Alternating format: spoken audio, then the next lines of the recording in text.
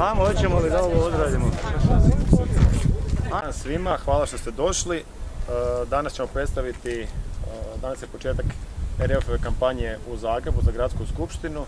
Ja sam Mate Kapović, e, ja ću nositi bivši rotacijski zastupnik Radničke fronte u gradskoj skupštini, ja ću nositi listu u Zagrebu za gradsku skupštinu. Dakle, RF će imati svoju listu za gradsku skupštinu.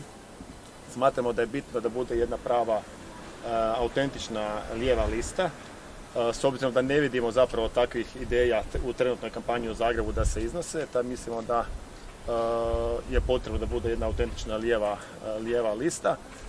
Imat ćemo listu samo za gradsku skupštinu, nećemo imati kandidata za gradonačelnika, mislimo da sad već ima, naša je procena da ima već previše kandidata za gradonačelnika, tako da ne želimo da, daljnju pometnju izazivati jer je onako već neke zauzete pozicije. E, puno je kandidata, tako da nećemo imati e, kandidata za gradonačelnika, ali smatramo da je bitno da se kroz e, kampanju za gradsku skupštinu mislimo da imamo što za ponuditi sa svojim idejama.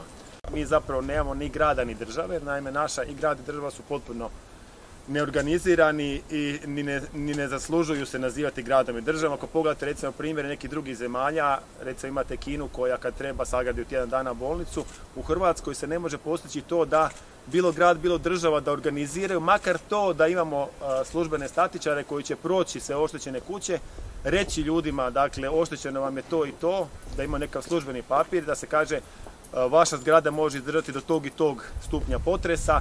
Da biste ojačali zgradu morate, morate napraviti ovaj zid, onaj zid, konkretno da se ljudima nešto kaže. Dakle, mi čak ni to nemamo, osim što je jako malo ljudi do sad dobilo uopće neku pomoć. Pitanje je koliko će dobiti i kada će dobiti ljudi, kada će ljudi dobiti pomoć. Nemamo čak ni to da se da imamo nekav popis svih oštećenih zgrada i da se ljudima kaže konkretno što treba napraviti, koliko im, koliki potres im zgrade mogu izdržati i tako dalje.